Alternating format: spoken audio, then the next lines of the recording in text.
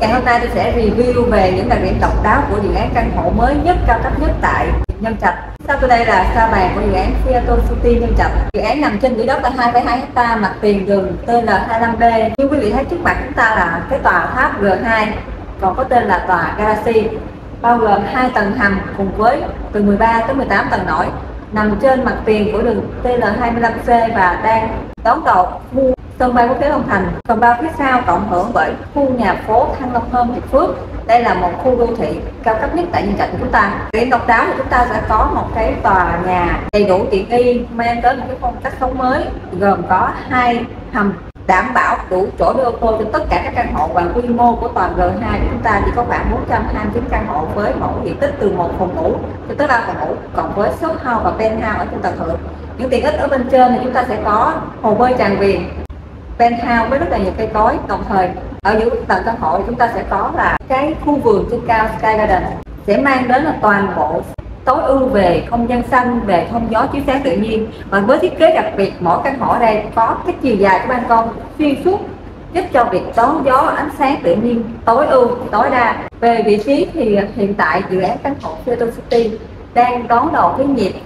sống mà sân bay quốc tế Long Thành được hình thành và vận hành khai thác thì đây sẽ là nơi định cư, an cư cho những chuyên gia cao cấp, các quản lý, các giám đốc, các khu công nghiệp, hoặc là những người mà có nhu cầu thuê ở và đi làm ở trong khu vực sân bay quốc tế Long Thành. Và sắp tới, khi khu đô thị hiện tại chúng ta phát triển sầm uất lên, thì nhu cầu về ở nghỉ dưỡng và có tiện nghi cao cấp, đồng bộ và cả mọi ích trong một nơi thì đây sẽ là người đáp ứng cái nhu cầu đó thực tế tại khu vực nhân trạch của mình